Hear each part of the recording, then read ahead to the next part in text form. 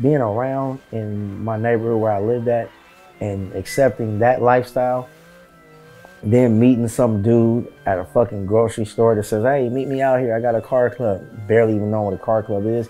And going to that lifestyle where it wasn't life or death, it was just way more attractive.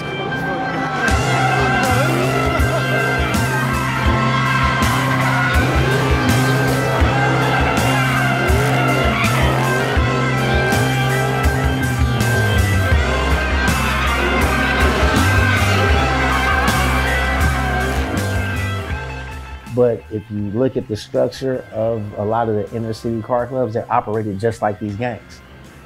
Everybody's got a sign. It's the same thing. If you see the guys in the cars on that, that's them throwing up a gang sign, but it's not a gang, it's their car club.